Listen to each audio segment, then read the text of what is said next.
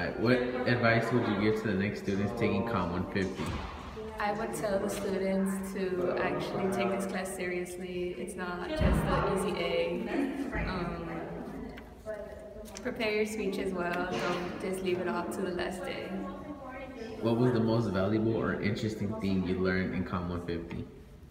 I learned that I should actually practice my speeches because on speech day you're just nervous and you tend to forget most stuff. What is the most important thing about public speaking?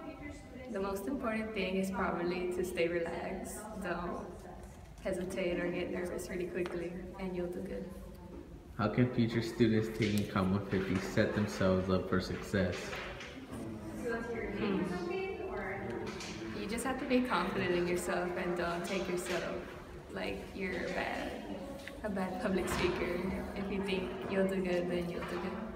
Is there anything you would change or do differently having completed 10 weeks of COMM 150? I would actually prepare for my speeches because I would leave them off for last and the best quality.